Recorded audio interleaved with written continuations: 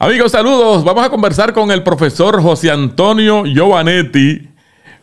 Vamos a hablar sobre diferentes aspectos de la vida profesional como maestro eh, por muchos años y eh, se, dedica a llevar a cabo charlas motivacionales. Profesor Giovanetti, saludos cordiales, qué bueno tenerlo con nosotros acá en eh, Lo Dijo JR, saludos. Eh, saludos, lo importante es saber de que uno es más importante que los problemas. Hay gente que cree que el problema es más grande que él. Y allí es que viene la depresión. La depresión. La depresión en ocasiones induce a la muerte. Sí, señor. Y yo creo de que hay que prevenirlo porque muchos jóvenes los hemos perdido en la flor de su juventud. Y yo creo de que hay que mejorar la calidad humana pensando en que hay que motivar a la gente diciéndole tú eres importante y si tú te llamas José Rodríguez decirlo sin vergüenza soy José Rodríguez Delgado ¿entiendes? o soy el profesor tal uno decir su nombre con su título. Eh, yo me retiré pero yo sigo siendo el profesor José Antonio Giovanetti. Correcto. Eso no es ser egocéntrico eso es autoestima Dicen valorarse a sí mismo. Dicen que el maestro o la maestra no deja nunca de enseñar mientras vive. He oído pocos casos que me dicen, ah, yo ni miro para allá, refiriéndose a la escuela donde trabajaba. Ese, no es, ese no es mi caso. Yo me gusta ir a las escuelas todavía, compartir con los estudiantes, con los compañeros maestros, porque eh, fue lo que me dio la pensión que tengo, ¿verdad? Y cuando me encuentro con muchos ex estudiantes, eh, me enriquecen. Profesor, ¿cómo está? Eh, o me repiten algunos de los poemas que yo le enseñaba, porque eran poemas alegres, poemas rítmicos. A los 60 años hay quien ha bajado el cristal del carro para decirme el pajarito pito pito, ¿dónde vas tan re bonito? Voy al campo de la era, ping, pum, fuera. porque eran poemas alegres. O sea, la escuela hay que hacerla que sea alegre para que el estudiante permanezca en la misma. El, la escuela te da conocimientos y los conocimientos no te los roba nadie. Te pueden robar la cartera, el novio, la novia, pero no el conocimiento. Y yo creo que es importante recalcar eso en los estudiantes y los papás, pues decírselo también. Eh, yo hubo un tiempo que decía que me iba a salir de la escuela cuando era jovencito y después, pues gracias a Dios, terminé el cuarto año y fui aceptado en la UPR de Río Piedras, la UPR, que fue un banquete, porque allí el programa cultural era magnífico y eso me enriqueció como persona y como intelectual. El hecho, el hecho de que usted haya cumplido su rol de maestro por más de 30 años, ¿cuántos años fueron? 31 años. 31 años. Ese, ese aspecto de usted se dedicó a dar drama, a impartir, eh, a enseñar drama a los jóvenes, a los niños de diferentes edades. Eh, ese, ese aspecto, esa eh, forma de enseñar esa materia, como que vincula mucho a, la fibra del ser humano, ¿no? Vincula mucho la sensibilidad, la espontaneidad, este tipo de cosas, ¿no? Y desarrolla ciertas destrezas, las destrezas orales, para que sepan comunicarse con corrección, ¿entiendes? Y, entonces, eh, como te dije anteriormente, yo tenía un proyecto que se llamaba El Mundo Creativo del Teatro, fortaleciendo la autoestima por medio de las artes teatrales. Sí, señor. y me daban un fondo porque era un proyecto de una propuesta federal me dan nueve mil dólares anuales para yo poder desarrollar el proyecto. Y con eso yo podía comprar materiales, equipo y todo. Eh, vino la secretaria directamente a mi oficina y trajo a la directora de fondos federales y le dijo, mira, orienta a este muchacho de cómo escribe una propuesta, hizo una pausa y después dijo, y se la pruebas. O sea, antes de estar escrita, ya estaba aprobada. ¿Por qué? Porque ella me conocía. Yo había trabajado con ella en un proyecto innovador en Salinas, que fue mi primer año de trabajo. Entonces eso propició que yo tuviera siempre papel de colores, tuviera Magic Markers, tuviera equipo de sonido y así por el estilo. El licenciado de Santiago, que era representante, me dio un donativo legislativo. Y por eso es que el Teatro Centro Escolar se pudo equipar. Oye, me lo entregaron desnudo. Sin equipo de sonido, sin luces, sin telón de fondo, nada de eso. Y con ese donativo del licenciado Freddy Santiago García, pude comprar todas las cosas. No le dejé ni un chavito. Y por 10 años ese proyecto estuvo, el mundo creativo del teatro. Se puede decir que, se puede decir que se puede decir que el profesor José Antonio Giovanetti junto a otros compañeros de bellas artes, de, otro tipo de arte, eh, sentaron un precedente en aquella época y desarrollaron unos estudiantes que posiblemente algunos permanecen eh, en las bellas artes y otros tal vez les sirvió como, como base para sus vidas cotidianas, ¿no? Mira, uno tiene un estudio de grabación en Guaynabo y, aprendió a utilizar los equipos de sonido en el teatro. Otro que practicaba en la iluminación. Era lo que, dicen neoyorican y en las obras era difícil colocarlo. Yo, pues tú vas a ayudarme en la iluminación. Después estudié la Miami y me dice por un tiempo pasado, yo las horas de trabajo en la universidad las hacía en el teatro de la universidad. Ajá. O sea que se pagó los estudios trabajando allá lo que había aprendido acá.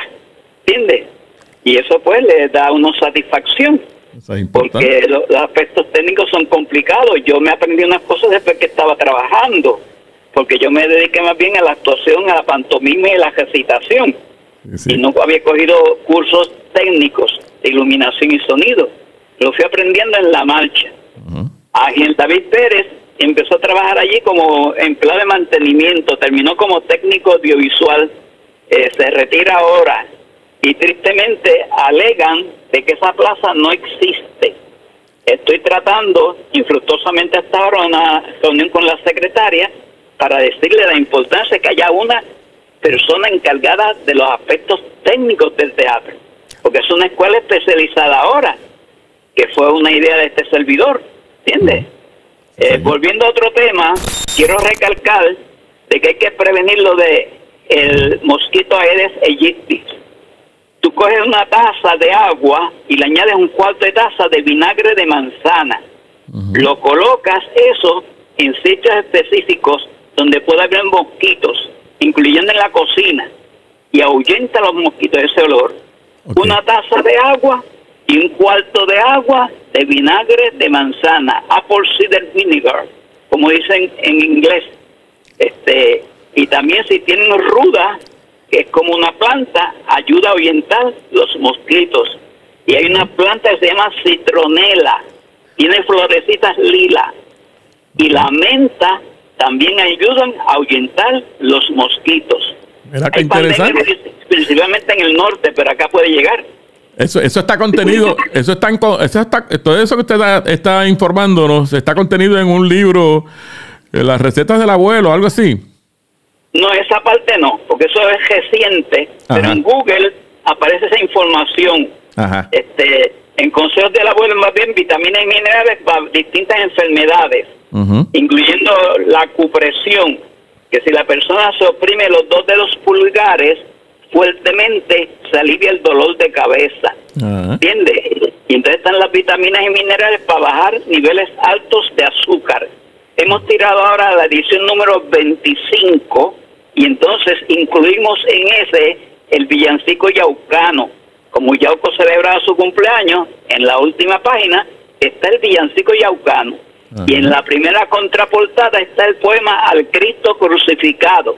Al estar en Semana Santa, ese soneto tan importante, el que dice, no me mueve mi Dios para quererte, el cielo que me tienes prometido, ni me mueve el infierno tan temido para dejar por eso de ofenderte. Es un soneto precioso, 14 versos en decasílabos. En decasílabos quiere decir que cada oración tiene 11 sílabas. Oye, perfecto el soneto ese. Y, gracias a Dios ahora mismo estoy en la cafetería de siempre y ahí se adquirieron algunos, gente de otros pueblos. Yo espero que la gente de Yauco cuando me ven la mano izquierda que yo lleve los libritos, ya yo quiero un librito de esos. Porque yo tengo que comprar dos gomas nuevas al carro.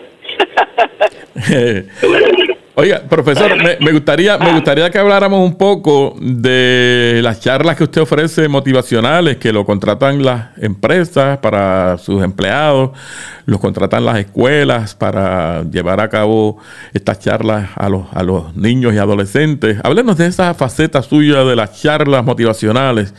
Eh, Ahora está un poquito en pausa porque los requerimientos que tiene el Departamento de Educación son más estrictos. Ajá y entonces uno tiene que estar un registro, eh, que llaman registro de licitación, y yo no tengo ese registro, pero yo visité 36 pueblos dando conferencias, y en el año 21 eh, fui a cinco pueblos a cooperativas, eh, cooperativas grandes, en Arecibo, en Manatí, Toa Baja, Fajardo, que están lejos, Sidra y Santa Isabel. Y allí yo lo que hago es que combino el humor con los conocimientos de salud. Hago una combinación. Y en el contrato yo digo, si no se ríen en los primeros cinco minutos, no tienen que pagarme. Porque gracias a Dios yo cultivo el humor. Porque un pueblo que ríe es un pueblo que va a tener más salud. Y gracias a Dios me pagan con fondos federales, las, las primeras que hice, y conseguí el Medicare, porque si tú acumulas 40 créditos tienen derecho al Medicare. O sea que los maestros no en aquella época no pagábamos seguro social, sino que era el sistema de retiro. Entonces yo al, ir a dar las conferencias en esos pueblos me pagan con fondos federales y logré acumular esos 40 créditos que es el mínimo para uno recibir Medicare. ¿Entiendes? y me fue una experiencia muy grata. ¿A qué teléfono, a qué teléfono se comunican si alguien nos está viendo y escuchando eh, para contratarlo? 787-644-8818. Curiosamente, la mayoría de la gente sabe que yo soy evangélico. ¿Eh? Y entonces un día di una conferencia en el Colegio de Mayagüez. Había un estudiante que pertenecía a la Iglesia Católica de Mayagüez. ¿Tú puedes creer que la parroquia católica me invitó a yo hacer la reflexión? un, domingo en la mañana. Y el sacerdote es lo más contento, lo más amigable y todo el mundo. ¿Entiendes? Porque yo respeto las creencias de las demás personas. Entonces hice la conferencia eh, en forma de reflexión cristiana, ¿verdad? En una iglesia católica. Y entonces en la carretera de Hormigueros templo bien grande que parece un coliseo. Ah, y yo siempre decía, oye, si me contrataran un día allí, un amigo me llevó a una entrevista a una televisora que ellos tenían en la iglesia. Entonces me dice el pastor, oye, usted puede venir el viaje allí aquí a dar la charla. Oye, di la charla allí en ese coliseo, que ya no lo usan, porque el aire acondicionado es muy caro, ¿entiendes? Eh, tuve, tuve ese privilegio. Profesor, vi unas fotos, vi unas fotos suyas con un grupo de estudiantes en el teatro que lleva su nombre, en el Teatro José Antonio Giovanetti, el teatro escolar. ¿Cuándo fue esa charla y, qué tipo de temas se utilizaron en esa charla con los estudiantes? Bueno, si son los que están alrededor mío, eso fue una visita que hice en un salón de baile. Y mientras hice el baile, la charla cortita fue breve, fue una motivación era cuestión de que yo visitaba distintos salones y ellos quisieron, vamos a hacer la foto con el gesto, con distintas expresiones, y se tomó la foto allí. O sea que no fue una conferencia formal, y, pero quiero decirte además que yo presenté mi recital en 12 universidades de Puerto Rico. se llama De cara al público. El que hice en Yauco se llamó El último aplauso. Y está en stand-by. El próximo que voy a hacer tan pronto haya fecha y que la garganta esté clarita. Eh, voy a hacer una diligencia, así que es un placer comunicarme con ustedes. ¿Cuál, fue, profesor? Esa, esa retroalimentación en el caso de los adolescentes, porque cuando son adultos, pues un público adulto es diferente a un grupo de adolescentes, ¿no? Eh, ¿Cuál fue la, retroalimentación que usted recibió de parte de los estudiantes en esa charla y en otras tantas que usted ha dado a adolescentes, específicamente a niños menores de, de 12 o 13 años? Curiosamente que yo me considero que yo no soy bonito, soy un viejo feo, eh, me he visto bonito, y entonces quieren retratarse conmigo ¿Entiendes? Y algunos me dicen, ¿te puedo dar un abrazo? Y me dan un abrazo. ¿Entiendes? Qué bonito. Me ven en la, en, la cafetería de siempre con los papás y le dicen, papi, e, e, ese fue mi salón, ese señor que está allí, y sonriendo. Eh, esos son regalos que no se pagan con dinero, ¿entiendes? Y los niños pequeños, pues me repiten algunos de los poemas, y los viejos que ya que fueron niños una vez, bajan el cristal del carro, como te dije al principio, y me repiten los poemas rítmicos que están contenidos algunos en el poemario Canto Poético a los Niños de Borinquen. 20 poemas rítmicos, disponible también. 787-644-8818. Seis, otro momentito.